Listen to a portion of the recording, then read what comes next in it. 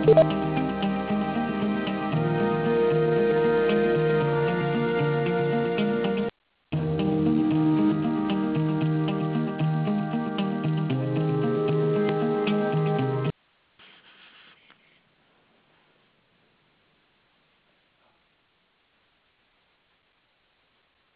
to the Rocky Mountain MS Center's webinar series, Maximizing Lifelong Brain Health in MS.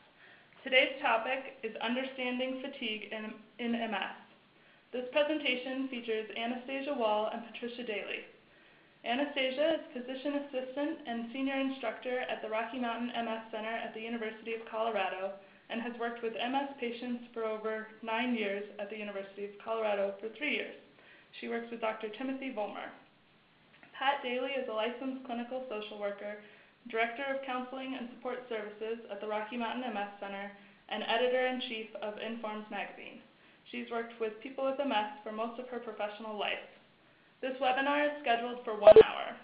The first 45 minutes will be a discussion between Anastacia and Pat, which will follow the PowerPoint.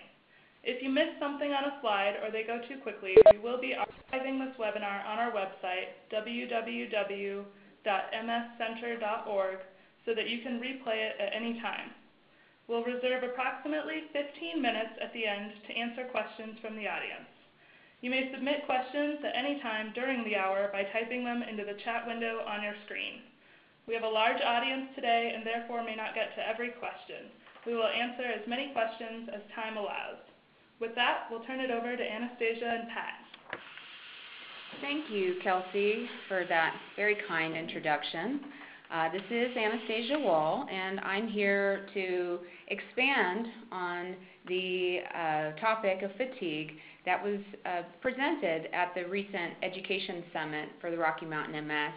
We had such an overwhelming response from that that we felt that to expand on this topic would be very important uh, for persons with MS and for uh, for people that are interested in understanding MS fatigue. Uh, we hope to talk about what it looks like, how it's defined, uh, what we know about the contributing factors, and also about treatment options. I also wanted to just thank the Rocky Mountain MS Center for their tremendous contribution to the region. Uh, all of my patients benefit from that locally here in Colorado and the surrounding states.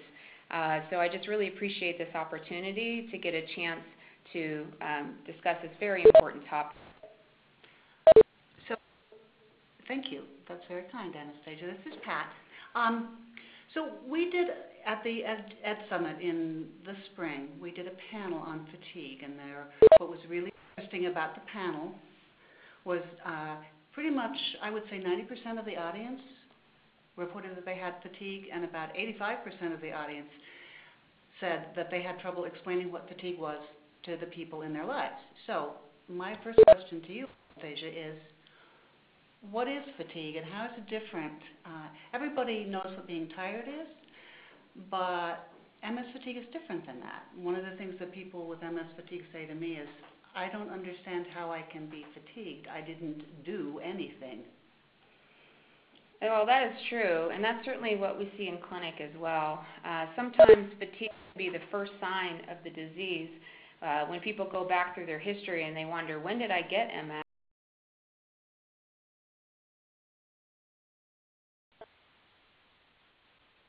That is uh, one of the things that I hear, you know, a lot. Um, I, in research, we know that about 70 to 80 percent of all persons with MS will report fatigue, and most of them uh, talk about the impact. The impact is just tremendous in the lives of individuals, in quality of life and in employment. Um, many people retire early, reduce their work hours. Uh, it increases the number of doctor's visits. Uh, and, uh, and, and I just think it's a very important topic. I think it is hard to understand because uh, I, I know that my patients will say, how do I get this to go forward? I keep doing this and nothing's happening. Um, so I'm trying to move forward the slide here. Okay, thank you. All right, so um, you know, so what my patients will say is that you know it's just mind-numbing and crushing. It's not the same as being tired because tired goes away, the fatigue doesn't. and it strikes you even after you sleep, a full night's sleep. It's not the same thing. Um, it's without mercy in the least. These are these are say these are things that I actually hear in clinic. Also, I would say that um, uh, you know, oftentimes tired is something that people use commonly. So when a person with MS will say, I'm tired, they might hear, well, me too, I'm tired too. Um, and then I think that promotes a feeling of isolation and thinking, well, I'm not going to really express that anymore because people, it's not very well understood. Uh, so, so I think what you're saying is that MS fatigue is tiredness that isn't remedied by the usual solutions that we have for dealing with tiredness. It's a, a, a more um, intense version of tired. Oh, absolutely, absolutely. Uh, you know, when I'm tired, I lay down and I have a rest. Maybe maybe I got some poor sleep the night before and I might have a little nap. Or maybe I've done a lot, I've gone shopping, I've done a lot with my family, and I feel tired, and I come home, I watch a movie, but I'm re energized. I get a good night's sleep the next morning, I wake up, I'm feeling pretty good. That is not the case for persons with MS and the types of fatigue that they get.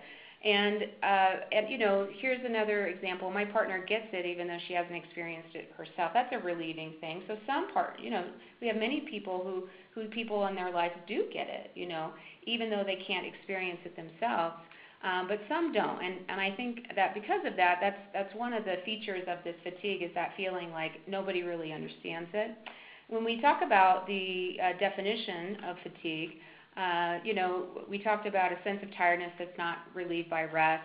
Um, but also, there's this mental fatigue that can be a part of it as well. That people are experiencing, they'll say, you know, it feels like at the end of the day, I'm just thinking in mud. I just don't feel like I can even do anything. Uh, you know, they've gotten through the big part of their day, they've given everything at work, uh, or you know, for their family or for whatever it is, or just even getting through their day making meals, and then at the end of the day, they just don't have anything left. Um, so that's that's some of the things that I think that people will describe.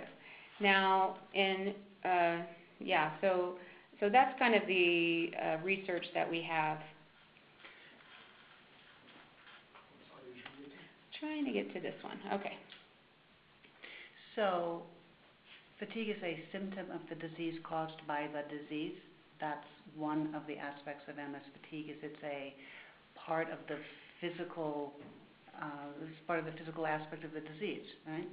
Yeah, I think so. I mean, we certainly have seen fatigue in cancer, in viral infections, in lupus, rheumatoid arthritis, uh, and you know other immune-mediated diseases or autoimmune diseases. So certainly, uh, this is not the only disease that describes fatigue, uh, but obviously, because I work in MS, this is the one that I'm most interested in.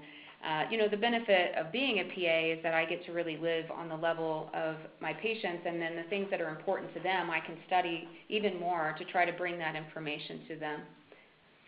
So this is, you've just put up on the screen the fatigue severity scale. So this is a way that you can measure fatigue. Can you talk right. about that a little bit? Right. I think the experience of fatigue is can be overwhelming. It's it's mercurial. It can change from day to day. Not every day is the same. Some days people feel great. Some days people are feeling really tired. And so, but in the scientific realm, when we're trying to look clinically, when we're trying to develop ways to assess it, to treat it, we have to create these kind of artificial structures so that we can quantify, so that we can put a number to these things. Um, and one of the ways in which we do this is called the fatigue severity scale.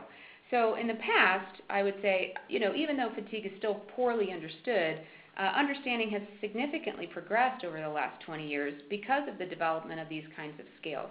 It helps, I think, as well, uh, when you ask a question, sometimes it helps to give language to persons and also to help to understand the scope of what we're talking about. So then here, you know, it says in the last week. So we know that one day does not represent the life.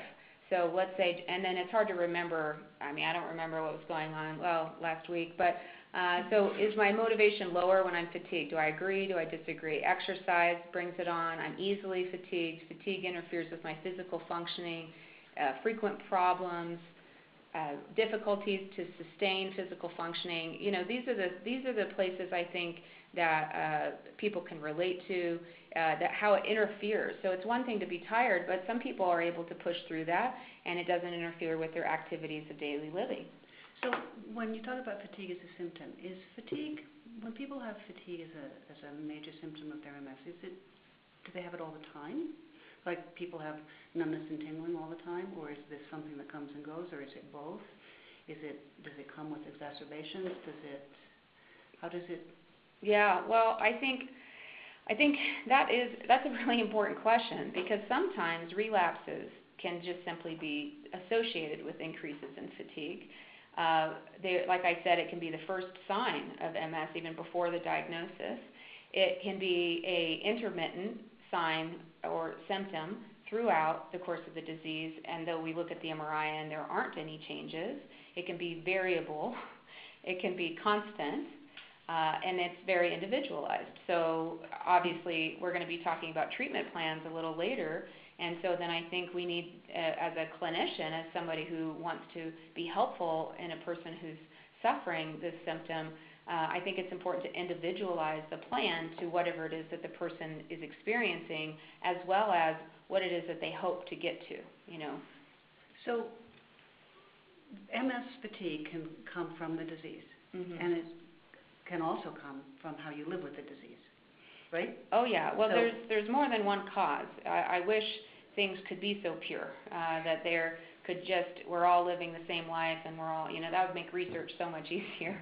Uh, but the reality is that there are a lot of factors uh, that play a role in fatigue, um, and and uh, we can go ahead and switch to those now. Uh, one of the things I just wanted to show, I thought this cartoon really illustrates some of the things that people can experience. You know, that here's here's this woman waking up in the morning. She's got a good night's sleep. Uh, she's like, okay, I'm going to get my, out of my bed. I'm going to get dressed. She's ready to go, and now she's done. I don't. People say this all the time. Yeah. I get up in the morning, I get dressed, and by the time I get dressed, I want to go back to bed. Yeah. Yeah. And some of them do, you know. I mean, some of them are uh, able to get back into bed in ten, you know, ten o'clock, or you know, getting up, take medications, and then go back to bed until they start to work, or uh, you know. uh, So it's just it is very variable. But I just think it's. I thought that this, although this wasn't a cartoon that represented fatigue and MS, when I saw this, I thought, man, this really illustrates what many uh, people do experience.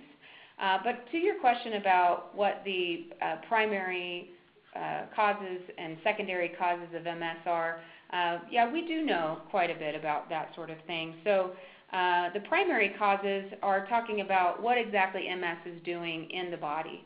So with immune dysregulation, uh, there are changes in the neuroendocrine function. So these, so the endocrine system is are you know basically chemicals or hormones that are affecting function throughout the body. We know that there are circulating, there's an increase of circulating pro-inflammatory cytokines. So that means uh, they create inflammation and they're chemical mediators. And that they, uh, there are also known to be higher levels of TNF alpha that are seen in persons with MS. So that's part of the immune dysregulation.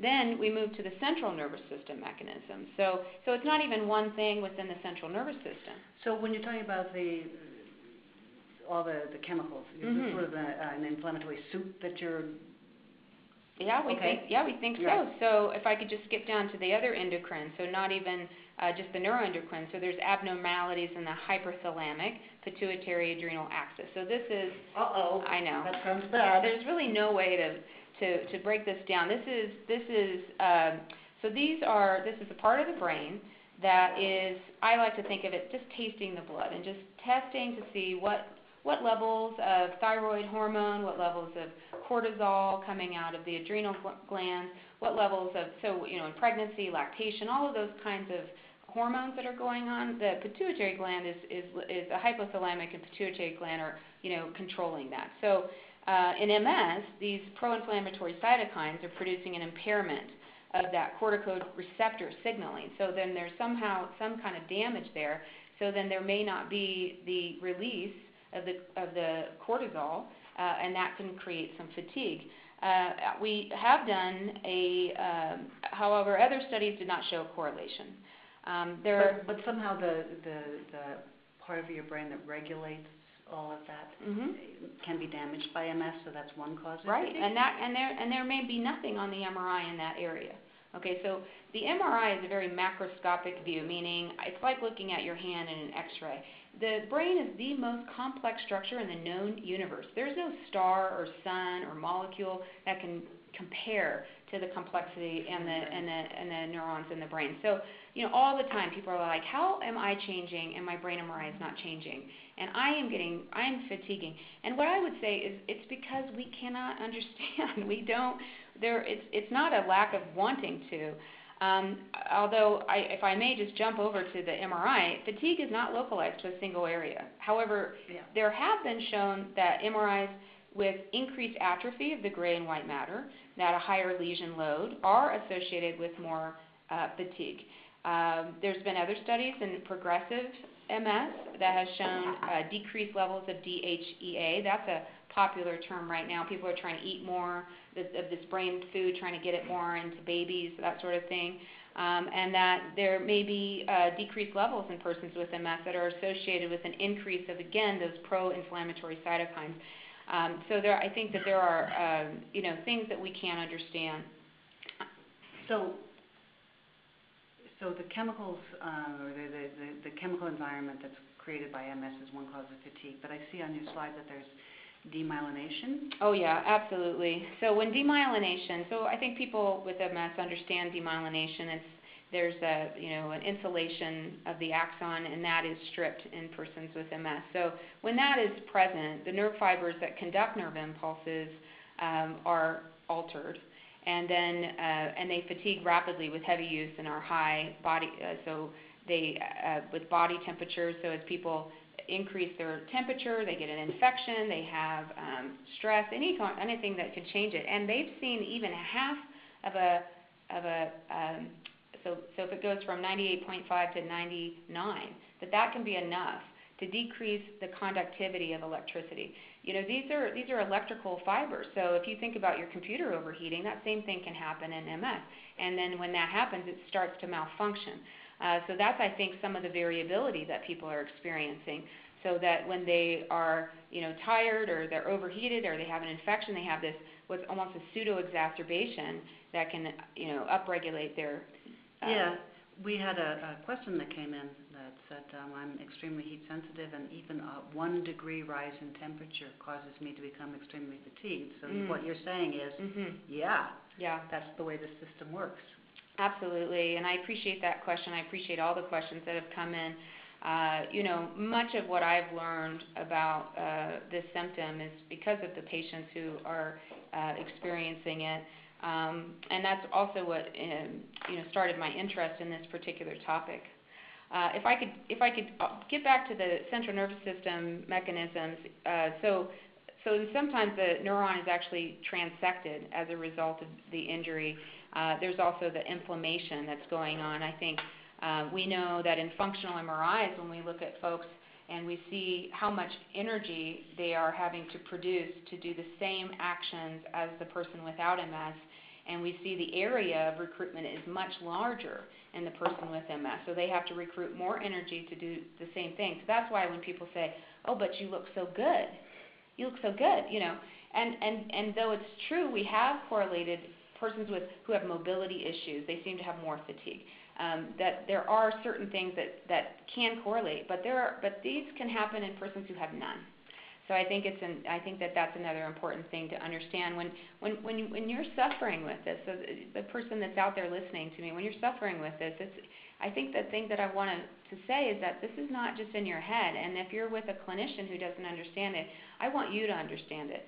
And that and that this is a well understood phenomena that is occurring in MS, and there are reasons for that. It's not just uh, you know in the American way, you know, we just need to pull ourselves up by our bootstraps. There are definite structural reasons for fatigue. So there are primary factors for fatigue, and so that comes from the MS itself, and then Mhm. then there are secondary factors. So speak to those, would you? Sure. Well, uh, yes. So secondary factors can be, I think, important. So we can't. I think it is very important when we're talking about these structural changes because uh, impact of disease-modifying therapies. As you know, our center is very proactive in treating disease progression. We want uh, if someone is having progression of disease or if they have the type of MS that is affecting them in significant ways, I think it's very important to have a frank discussion about whether or not the current disease modifying therapy is helpful. Uh, there has not been any association that has seen that disease modifying therapies increase fatigue.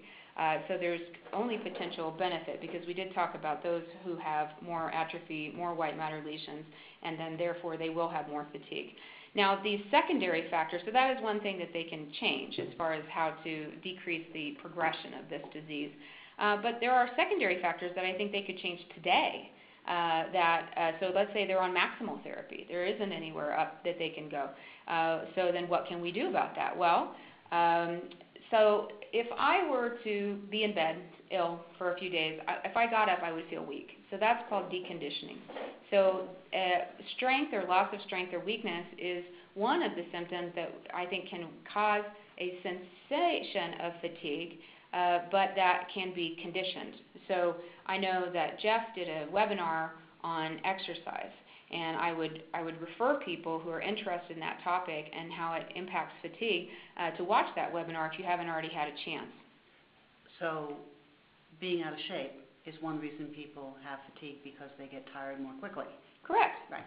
So one of the things that you can do is over time, increase your general level of fitness so that you don't tire as quickly, so then you have less fatigue. Absolutely. Right. Yeah. Now, uh, to the next point, sleep dysfunction. So that there's a lot of things that go into that.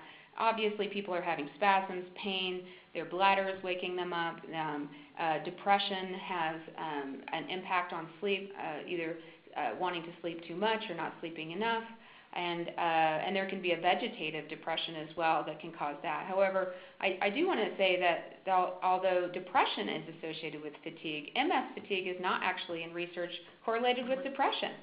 So it so it isn't something that just because you have fatigue that means you're depressed. That is absolutely not true. Uh, but however, if the depression is present, that is a very treatable thing and should be addressed. Uh, so with sleep dysfunction, that's one of my personal favorites. Uh, I think sleep is completely uh, uh, devalued in our society. You know, before the invention of the light bulb, people were sleeping 10 hours a day, and that was considered normal. Now we're lucky. You know, it's like, well, if I could get away with four hours of sleep, I would. Uh, th- just wanting to pack so much. Also, you know, keeping ourselves awake so late in the night, watching television. The brain responds to light. We are meant to live night day, night day.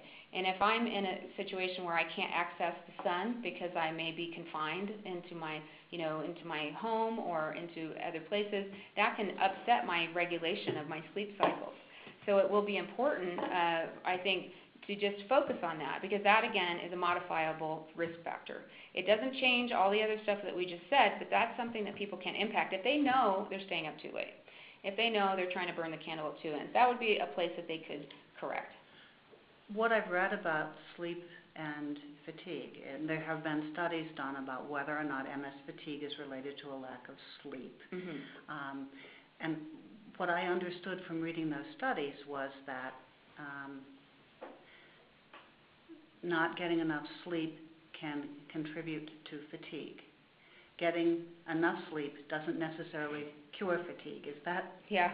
Well, I think I think that that would be a good place to start. So, are you getting enough sleep? Yes then is there something going on in the sleep? I, I read a study about persons with spinal cord injury, transverse myelitis, and it showed that up to 25% of people with spinal cord injury are actually having a condition known as restless legs and periodic limb movements of the sleep that are actually impacting their sleep and, and, and, and they aren't aware of it. So that's not a conscious thing that's happening.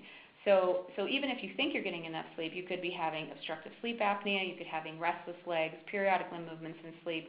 Those things occur because of brain issues, uh, narcolepsy, or other sleep disorders. So, so those, so I think that uh, although I, I do want to say uh, that MS alone and, and, and pure sleep uh, could be there, but I want to also take away any other risk factor could, that could be going on. I can tell you, so then, are you snoring?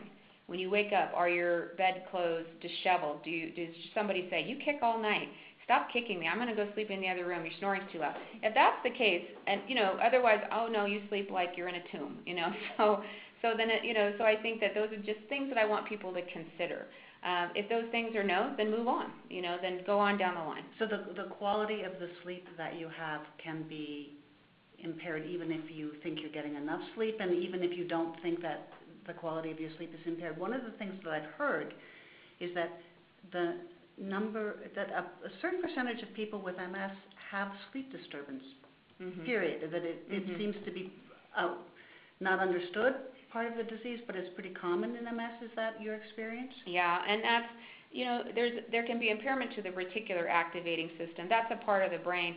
So the interesting thing about sleep is that there's not a, there's not a system that, that causes you to fall asleep or makes you unconscious.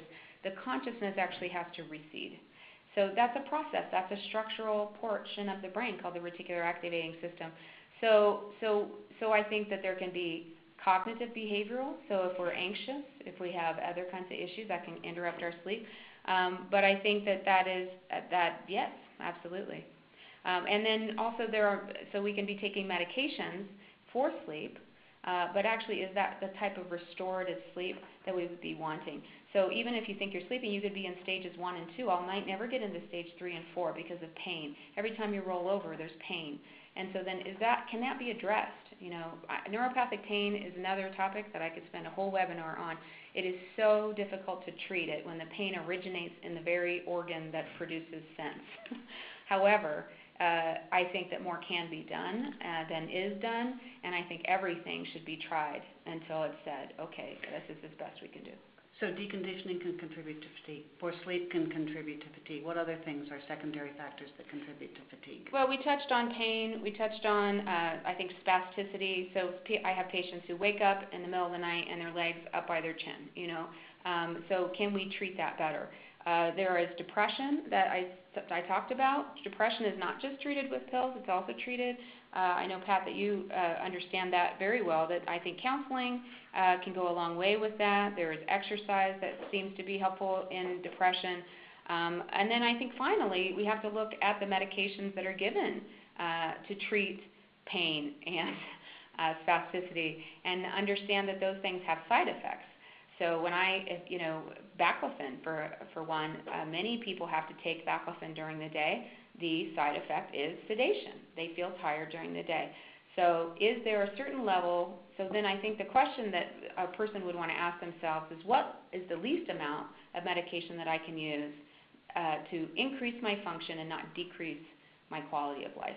And it may be that because the pain is so great, then they have to tolerate a certain level of sedation from the medications.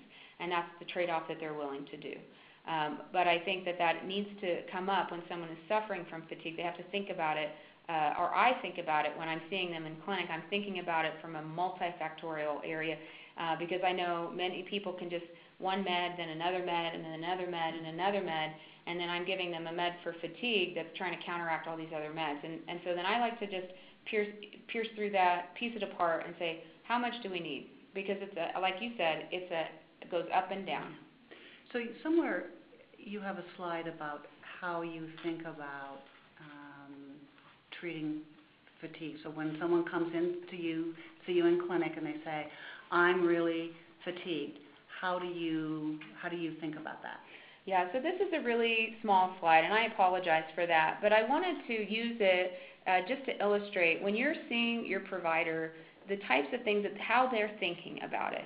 Uh, because time is very limited when you're in that clinical appointment, and so I think in order to maximize the way that you can access your health care, it's really important to understand how your clinician is thinking. So this so we think in algorithms, honestly. So is fatigue present? Yes or no? If so, uh, let's look for modifiable factors like the medications that we're talking about. Also, assess for depression. Is it evident? Yes or no? Treat that depression. If it's not, then keep going. So the question about depression and fatigue, could you clarify that a little bit? Because I think one of the symptoms of depression can be fatigue, but Mhm. also um, depression, one of the symptoms of depression can be disturbed sleep, Mhm. right? Mhm. So if someone Mhm. has depression, Mhm. um, they may be fatigued, but they may also not be sleeping well, so which will also contribute to fatigue. So it's a it's a kind of a complicated Oh my gosh, so true. Uh, you know, and then uh, I would love it if everybody only drew one card uh, in life, and if it, they had to have the MS card, then that's the only card they have to draw. However, we also need to treat them and think of them as a human being that lives on the planet. Okay, so that would be checking their labs. Do they have a thyroid deficiency? Do they have anemia? Do they have, uh, you know, that's so common in women of childbearing age. Uh, they have heavy menses, and then they have anemia, and then something simple like iron replacement could be beneficial. So I, I like to think about uh, uh, people holistically, trying to assess all the factors that can go into it. Okay. So when when I ask, "Are you depressed?" I'm not saying, "Oh, you're fatigued, therefore you're depressed." So I, I think that some people can get that message when a provider might ask them that, or they feel like, "Well, that's what they're saying. I'm depressed. I'm not depressed." You know, but understand that that's just one of the uh, 50 things Things that you have to that I have through. to go through because I can't do anything about the you know neuroendocrine function. You know, so I'm so I guess you know I'm limited in how I can be helpful. So you're trying to find things that actually we can, That We we can treat. yes. that we can make better Yes. because the, in some ways, and I think people don't understand this about treating fatigue, they want to find one thing that will fix it and make it eighty-five percent better. And my experience is that you can find about ten things and make each one of them about five percent better, and then you get some improvement. Oh, that is that is absolutely true. Uh, and you know, I think all of us understand that there are areas in our life that we can probably improve. You know, and and I uh, so so I don't want uh, there to be like this nihilistic. Oh well, I'm you know that's just the way it is. You know, obviously accommodation to these things are important. Um, um, coming to terms with them, um, but I think you know sometimes it's that just total denial that this is even happening. Uh, so where so uh, uh, so that that there there are many factors, and so I think that having that conversation uh, with somebody who's understanding is important.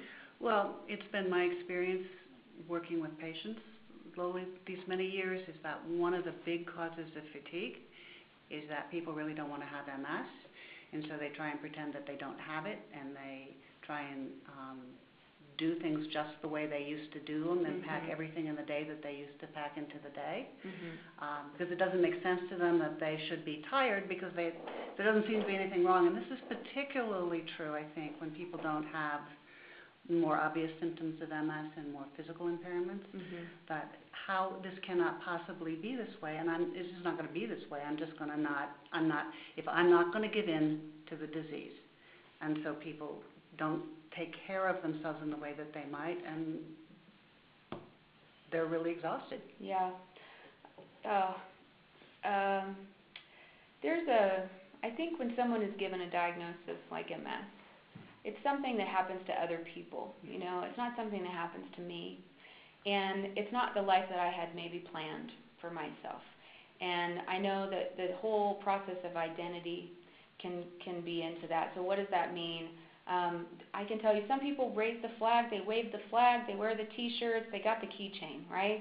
But but most people, I would say, I don't see them do that. I think most people, uh, I know people who um, their spouse knows and not their kids, or maybe you know nobody knows, you know. And I think that, um, and then they try to keep up appearances. And um, I honor that, and I and I and I, I honor whatever experience people want to have with this. But I also know that that requires a lot of energy to do. And for anybody to keep up with the Joneses in the age of Pinterest and Facebook and all Instagram and all the lives, all the amazing lives that are happening out there, and I want to have an amazing life, and that's wonderful. And you know, we have people that we can look to and like the Paralympics who have they have achieved amazing things, and people do every day. I mean, I like to say for many people, just washing the dishes, getting through their day, that's amazing. But but it's almost like it's not enough, you know, and then they want to do more. And it's like I'm going to go to IKEA, REI, Costco, all in one day, and then I'm going to throw a party. And I'm not gonna use a scooter either. And I'm absolutely not going to use a scooter. You know, I can't be. Yeah, and I just and I and I and I guess I would say uh, to that person, it's okay. Whatever journey you're on right now is okay, but it's also okay if ever you wish to change that and move into some acceptance. It does involve some disintegration of the identity in order to reintegrate into an understanding that I am a person with MS. I'm not I'm not an MS patient, right? I don't, I don't like that term. I, it's, it's a person who has MS. I'm a person who has mobility issues, you know, those things. Um, but I, it doesn't necessarily impact who they are as individuals. Each person has their own individual journey. So I, I don't think everyone needs to wave the flag or wear the T-shirt or those kinds of things. However, I, I, I do know that those who accept this diagnosis, who understand their limitations, who get to a point when they get to see uh, that they get to take care of themselves in a way that other people maybe don't, and that they have a they, they almost have an extra sense, like when they start to tingle, they know it's time time time for me to take a seat. It's time for me to sit down. You know, most people exhaust themselves. I was just at the ECTRIMS this last week, and I saw a poster that said stress can lead to hippocampal volume loss. So that's leading to possibly memory loss and these kinds of things. Now, that's just anybody in the community. Everybody, I think, is living under this stressful life, you know. But I would hope that a person with MS could learn from the challenges that they've been given and their adaptability, and then I've seen people really transform into something quite beautiful. Well, so I think maybe we should spend some time talking about some concrete things like diet and so on and so forth. But before we do that, I do want to say that the adjustment and the things that you're talking about and people coming to terms with this, in my experience, is not something that happens overnight. It's uh, it takes a while, and uh, most people, I think, have to hit the wall at least once before they decide that they can make some of these changes. Right. I, I agree with that, you know, and I, I like to say all the time, I'm you know I'm banging my head up against a door because sometimes all I have to do is just open that door, you know. Um, uh, so yeah, so I, I agree with that. Um, so when we talk about uh, different ways to manage fatigue, we mm-hmm. talk about energy conservation and looking how, at how you spend your energy um, and those kinds of things. But what about things? People always ask about diet. Mm-hmm. Um, does that make a difference in fatigue? You know, it does. I, I, I think anybody understands that after the Thanksgiving meal, you know, they want to go have a nap. Okay, so we know that diets that are really high in carbohydrates, which is a wonderful American diet, we love our carbs, that then there is just simply a response to that. The body is going to increase its insulin, it's going to increase uh, the, the need to the autonomic response, which is to now digest, so rest and digest. So then the body's going to want to do that. You also have circadian rhythm. So at three o'clock, they uh, in some cultures they have a siesta. Uh, listen to those things. Um, you know, I know I don't have the best diet. I think we can all make improvements. I mean, what did you have for breakfast, Pat? I don't want to tell you. I'm not going to talk about it. But cinnamon and sugar was involved. Uh huh. And I had two bowls of Rice Krispies. So, you know, I think we can all uh, think of areas in our lives that we could make improvements. So, if I could have a protein-based meal that has some, if I could have an omelet with some, um, you know, uh, vegetables in it, would that make me feel better? Probably. And I could experiment with that if that was something that I could focus on. And you know, I would advise people take one thing at a time. Don't try to change everything at once. You know, don't work on your sleep and your exercise and your diet all in once. This is a lifelong process, so I don't want it to overwhelm anyone. You know, I'm just saying, could there be things that I could do today that could change how I feel? Yes. Try to decrease sugar. Try to decrease, you know, that junk food and all that stuff. Um, uh, caffeine, which is I think probably the most used anti-fatigue uh, medication or chemical out there, uh, but there's a drop off from that. And if it's causing insomnia at night, then maybe that's not the best thing, or maybe there's a time to cut it. So those would be things in the diet that we can change. So if I'm drinking Coca-Cola just to get through my day, or energy drinks, oh my gosh, I can't tell you how many people I have coming into the clinic with their Red Bulls, you know. Um, and uh, but I think that there's an impact. You know, are we driving ourselves too hard? um, and using these things to try to get things maybe extra, or are we just trying to get through the day? You know, and and and if that's all it is, that's fine. But that would be an area I think. Um, and we talked about lifestyle, so exercise. So we know that you know 90 minutes of aerobic exercise could be very helpful. 90 minutes per week.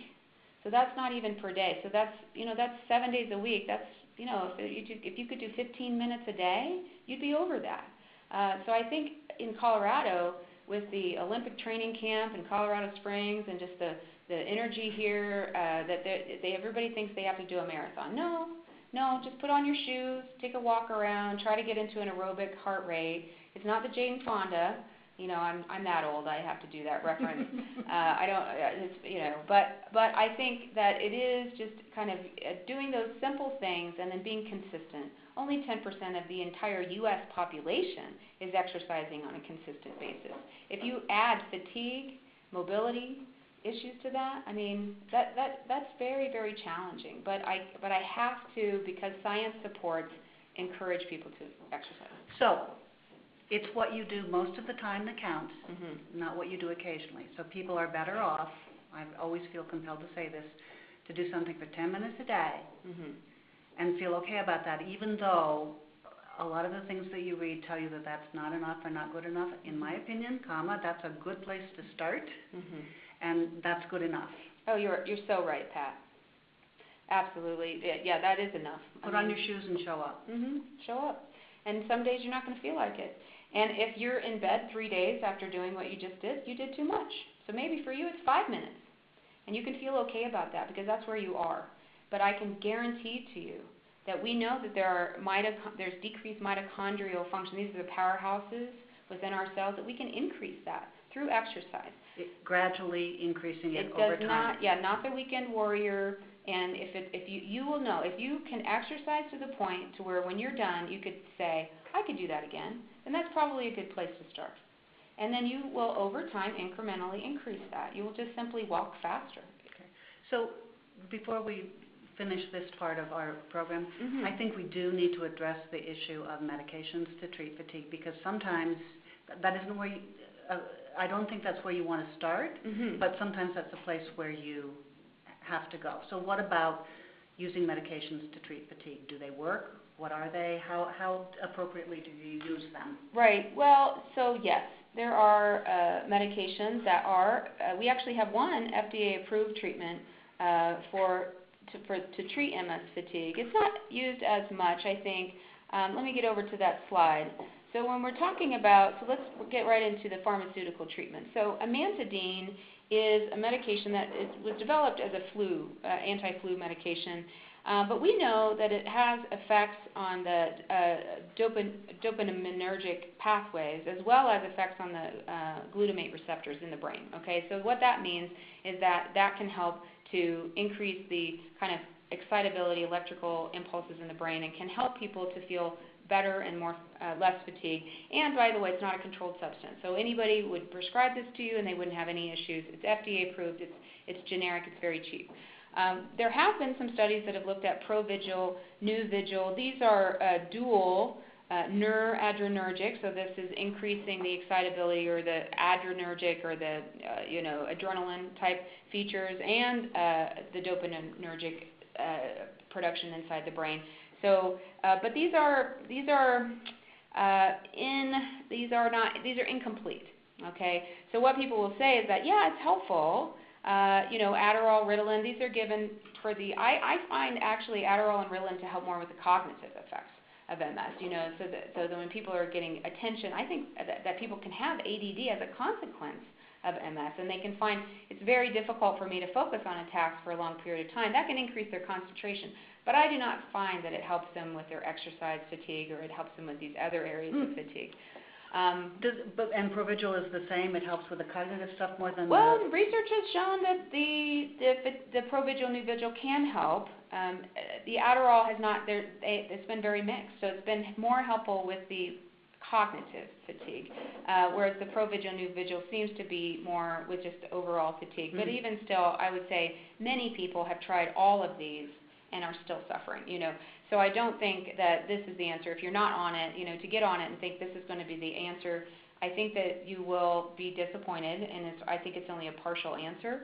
Um, Ampyra, I, I, I think this drug is so interesting because it actually stops the leaking of these potassium uh, electrolytes, and it helps to just contain it a little more so that the as that uh, action potential or that electricity is jumping over that gap of myelin, it kind of increases the excitability of that, and so then people feel a little more spring to their step. It's the walking drug.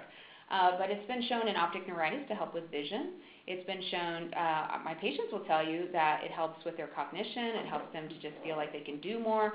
And so, but the problem is it only works about 30% of patients. So 70% of people who take that drug aren't going to find that effect.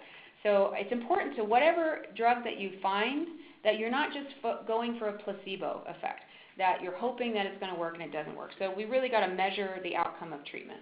So to wrap up about pharmaceutical treatments, are these drugs that you have to take regularly? Can you take them um, as needed? How do they work? Yeah, I think so. Ampyra does build up in the system, and so that is something that you would want to take on a regular basis. Amantadine, I think the same way. With the Provigil and Nuvigil, I have lots of people who just simply take it if they know they have to go to a wedding or they know that they're going to be, you know, out for all day, and then they cannot take it. They don't, you don't have to take this. These are things that I think can be you could take it during the week and not on the weekends, or take it on the weekends and not during the week. You know? So amantadine you need to take regularly in order to get the effect. I think With so. Yeah. Ampyra, can you tell in a, a period of time if it's going to be helpful Yes. for you? Yes, you can. It should be within a within that first month. You should see the impact. And if you don't, it's probably worth a while to maybe come off of it and try it off, and then notice if you see the reverse difference. And then maybe there was a difference, you just weren't noticing it. So I think it's it's reasonable to try it and then try without it, Huh. and then try it again, you know, um, and see if it can be helpful because it's really the only thing we have as far as to help improve walking. So amantadine and Ampyra only work for about half the people Right. who try it? Yeah. Yeah, yeah, Okay. yeah. Um, and I don't know that I can explain why that is. I just think that that's that's just what we have seen. Yeah. Um, now, as far as sleep, so we have a lot of questions here for sleep. So for people that are taking sleeping medications, here's Andy talking about, you know, I use lorazepam. It's beneficial. So so lorazepam in particular is a very short-acting benzodiazepine. And what can happen is that you are, it's a very broad base, it's suppressing the nervous system, the central nervous system depressant, okay? So it's just a very broad uh, dampening of electrical excitability. So it helps with sleep, and it does put people to sleep. It's also anti-anxiolytic, so if anxiety or just that racing mind is causing you. But it's really only to be used as needed. One is habituation, so people will get tolerance to it, so it won't work as well over time. Two, alcohol is a very nice sleep aid. Uh, unfortunately, what will happen is there's a rebound. And the same thing can occur with lorazepam. Um, I think uh, if you're using a benzodiazepine, and that's that class like Valium, Klonopin, or clonazepam, anything that ends in a PAM, okay, then those ones, uh, there's short acting and there's long acting. So, so, and it's also a very old medication, and there's a lot of hangover effect. So sometimes people will say, you know, I wake up and I'm still like, mm, mm, mm, you know, it takes me a while to get up. Um, and that's why uh, people develop these hypnotics like Ambien and these kinds of things. Uh, but people have, as a women, uh, like my 120 pound woman is taking the man sized dose of Ambien, and then uh, what's happening is people are sleep driving, you know, or they're sleep eating, or they're kind of doing these things because it's only shutting down one portion of the brain. So, uh, cognitive behavioral therapy is another way that people can train their brain to learn how to fall asleep, and it's been shown to be very helpful. So, I think of sleep aids as kind of a last ditch. There's also Rozerem, which is a sleep aid that actually upregulates the melatonin receptors in the brain so that people can fall asleep more naturally. And, and, and it would be my advice that, that those should be the things that people want to try first, uh, especially if they're having that racing mind, um, to try to help to promote those naturally. Melatonin can be really helpful as well. I know Dr. Vollmer likes to use diphenhydramine, uh, which is Benadryl. Uh, so those kinds of things I think are safe uh, to use. Uh, but I think that when you're t- looking at benzos, especially short acting, you have that rebound. So then people can say, I'm waking up at 2 o'clock in the morning, I'm wide awake. And so then that's because the central nervous system's been depressed, and what does it want to do? It wants to rebound up as that drug wears off, and so then now they're wide awake, and then they maybe have to take another one, uh, right? And so then, and they're only going to increase their tolerance. So, so, but I, but I, again, I use it. I mean, I don't use it personally. I use it in, uh, in clinic, and I think that it can be helpful, but more on the intermittent use. Medications should be tried to be in general use and the intermittent use. Obviously, there are refractory cases where people just simply cannot sleep and their insomnia is so profound. And I get that. It's a form of torture in some compon- countries, you know, to not be able to sleep. And so, uh, you know, the fear of not sleeping, I think, is, is very real as well. But um, so I'm not saying never ever. I'm just saying in general. Uh, so yeah, so there's also a question about MS and sleep apnea. So uh, actually, one out of four person, so it occurs more in men. It occurs more in men who have uh, increased uh, BMI or a neck size, so if you think about the collar on a shirt, uh, those those increase the risk factor, but it is seen in women, especially in postmenopausal women, uh, that there's an increased risk. Now, I've seen in MS, but it's rare. I don't know, you know, I don't, I don't know all the data on that, but there is this kind of a central sleep apnea that comes out of the brain. I would think that that would occur in more advanced disease.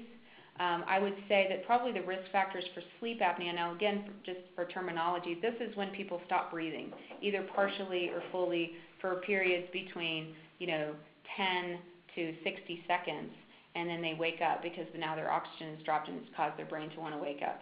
Uh, so that, like I said, there is an increased risk factors for PM, uh, for uh, sorry, periodic limb movements and sleep.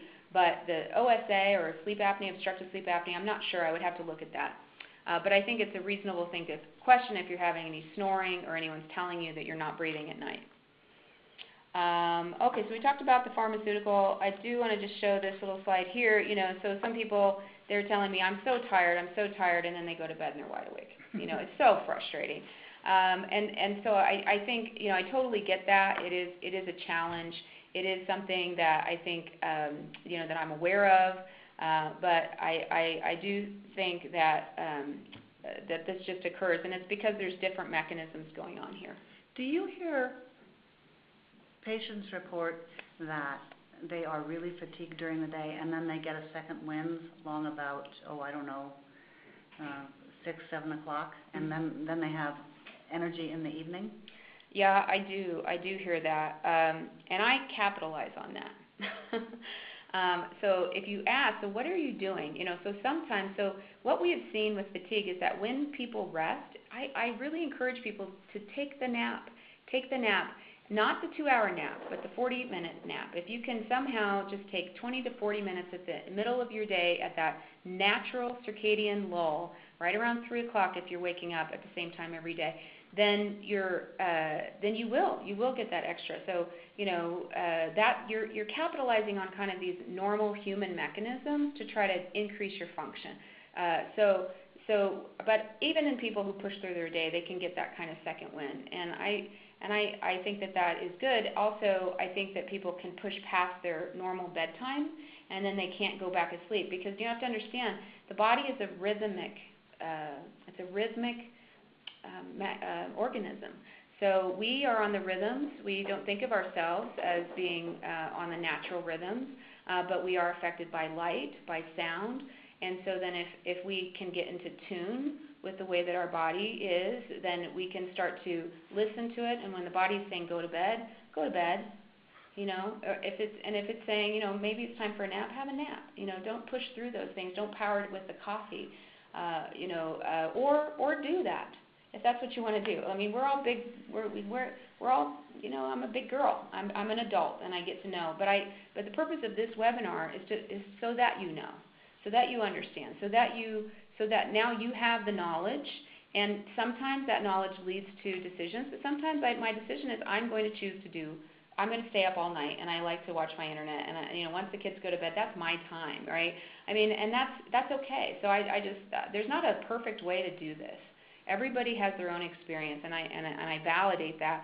Uh, but th- these are tools that you can use and you can pick up or put down as you see fit. Yeah, I frequently say to people, it's really okay if you want to blow it out and you know, spend all of your energy Mhm. on one thing. Mhm. Just know that you may have to pay for it for the next couple of days, but if you can afford to pay for it for the next couple of days, Mhm. then do whatever you want. Yeah, Pat, that's a great way to think about it. It's like an account. You only have so much in that account. So how do you want to spend it?